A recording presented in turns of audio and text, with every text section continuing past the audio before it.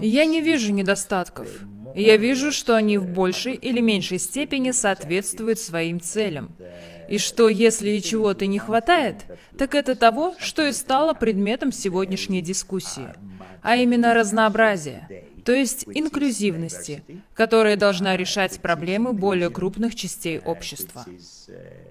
И сейчас прилагаются очень систематические усилия, чтобы исправить эти вещи и сделать, чтобы это было устранено. Итак, мы начинаем смотреть, как мы можем создать архитектуру.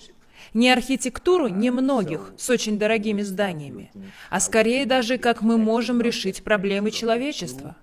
У нас есть возможность это сделать. И одна из самых сильных сторон Гарварда, о которой вы упомянули, к вопросу о том, чего ему не хватает. Они могут признать, что им чего-то не хватает.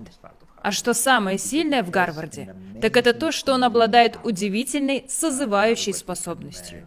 Другими словами, мы можем собирать людей из разных дисциплин и с разным образованием, с разным опытом.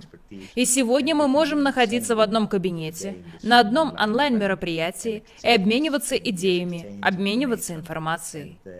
И я могу сказать вам это сам, как профессор Гарварда, поскольку я организовываю что-то подобное. И делаю это уже много лет так как почти с тех пор, как я начал преподавать, я никогда не играл роль всезнайки.